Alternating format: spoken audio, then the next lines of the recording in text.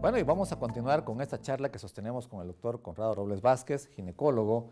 Eh, doctor, eh, eh, nos quedamos en el bloque anterior platicando acerca de que las mujeres que han tenido algunas alteraciones, a lo mejor en el transcurso de su vida, como estreñimiento, como el no caminar adecuadamente, una mala postura, algunos detalles que van a ir pagando, por decirlo así, cuando lleguen a cierta edad, cuando ya los estrógenos empiecen a faltar, y esto condiciona de manera natural por el envejecimiento propio del cuerpo, que puedan tener alteraciones en el piso pélvico. Eh, ¿Existirá eh, en Oaxaca alguna situación que nos haga pensar que existen zonas donde haya más o menos esta cuestión, doctor? ¿Es, es, cierto? ¿Habrá eh, porcentajes? Desde el punto de vista médico, generalmente tratamos de encontrar alguna relación geográfica, étnica, incluso social. Eh, se ha mencionado mucho el estado socioeconómico. Sin embargo, ah, ahorita hay dos cosas importantes. Primero, eh, la antropomorfía de la persona va a estar muy ligada a la zona donde se encuentra. Y entonces vemos que personas, por ejemplo, en la Mixteca, que son chaparritas, piernas cortas, y que fueron hechas desde un punto de vista natural eh, para esa zona, para poder caminar grandes montañas y subir las montañas sobre todo. Uno de piernas largas no lo podría hacer porque se caería por la gravedad. Sin embargo, estas mujeres eh, no tienen problemas de piso pélvico por la caminata, por la forma de cargar y que además deben de guardar el equilibrio. No sé si han dado cuenta, algunas ocasiones hace 20 años o más cuando yo estudiaba medicina, veía a las mujeres que venían de San Felipe del Agua cargando sus tenates en la cabeza e increíblemente derechitas. ¿Sí? Ah, qué interesante. Hay cosas que nosotros hacemos o vemos y no nos preguntamos los porqués. Entonces es muy importante saber y determinar qué es. Por último, estas cosas o estos dos comentarios ya vienen a menos debido a que tenemos un gran cambio de, personas. Eso es. Ahorita tenemos una gran cantidad de extranjeros en muchas zonas de Oaxaca y muchos extranjeros se están casando con nuestros eh, paisanos y esto va a dar otras características. Entonces la etnicidad que antes era un punto ya no lo hay. ¿sí? No se menciona en la literatura ninguna proporción acerca de, raza. Ah, eso es. ¿Qué es lo más importante de esto? El ejercicio, la postura y la alimentación. Estas tres cosas son las que van a permitir determinar en qué momento van a fallar el piso pélvico. Déjeme decir, no lo comenté en el bloque anterior, es el piso pélvico más los órganos que contiene, más los huesos, la disposición de los huesos y la forma en cómo está la, eh, la columna vertebral. Ah, ok, ok. Bueno, entonces, eh, tomando en cuenta esto, eh, mencionábamos también acerca de algunos padecimientos como los diabéticos que eh, pudieran tener algún trastorno y que puede agregarse esta cuestión de la disfunción del piso pélvico, que se cuelguen, pues, ya sea la vejiga, la matriz, etc.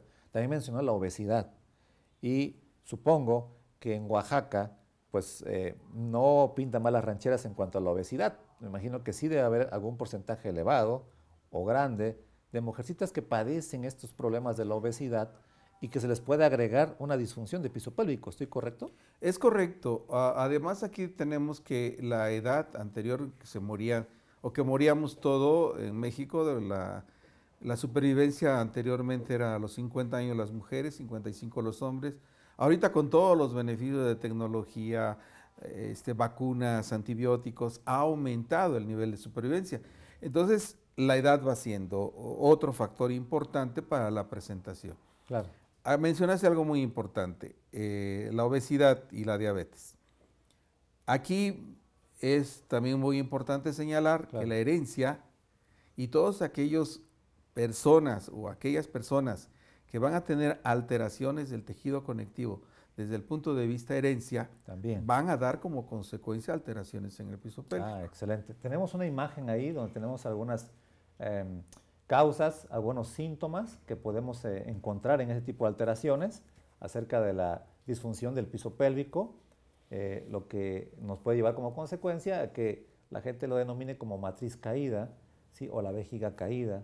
Muy importante conocer estas causas para poderlas prevenir eh, ya mencionaba el doctor muy atinadamente, hay mujeres que se enfrascan en hacer ejercicios, pero sin control, sin una eh, adecuada tutela, y esto puede condicionar a que en un momento dado se lastimen el piso pélvico.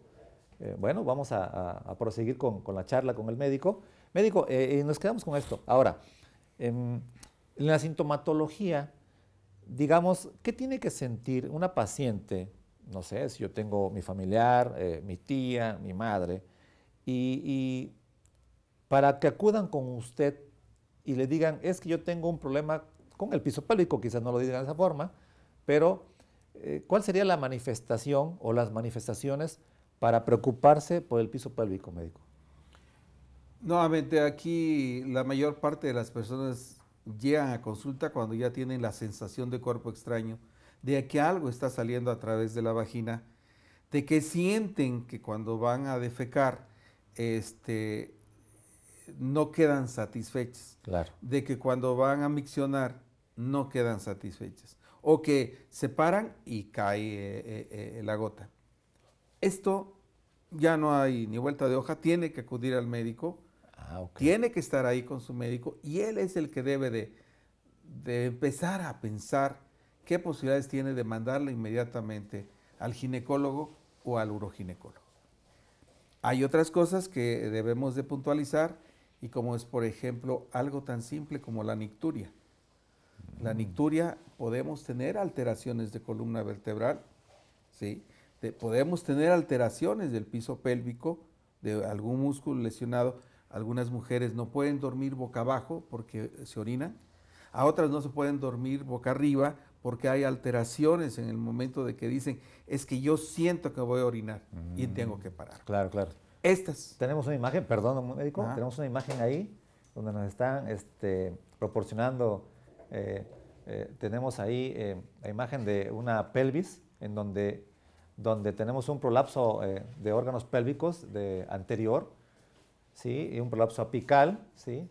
y un prolapso posterior, en donde el, piso pélvico, que es el que estamos platicando aquí con el doctor Conrado, está fallando y dependiendo obviamente del grado de que esté fallando, pues va a empezar a colgar, por decirlo así, de una manera coloquial, ya sea que se cuelgue la vejiga hacia adelante, ya sea que el útero sea el que descienda y se caiga, o ya sea que hacia atrás el recto también sufra un trastorno y también puede tener un problema en donde se pueda colgar. Todos estos nos van a dar alguna alteración, ya sea para poder defecar, para poder miccionar, y lo que mencionaba el médico también muy importante acerca de la sintomatología en la nicturia, que es eh, el hecho de estar eh, con molestias para orinar de noche, orinar mucho de noche. Continuamos, médico. Y me decía usted que estábamos en este rollo de la nicturia, que hay mujeres que se les escapa inclusive caminando solitas, ¿verdad? O con la tos. Esas son como manifestaciones que hay que tomar en cuenta. Muy importantemente, hay mujeres que aquí ya vienen las manifestaciones iniciales, en donde no salen de su casa o necesitan forzosamente o preguntan, ¿hay baño? ¿Lo puedo utilizar? ¿A qué distancia está el baño?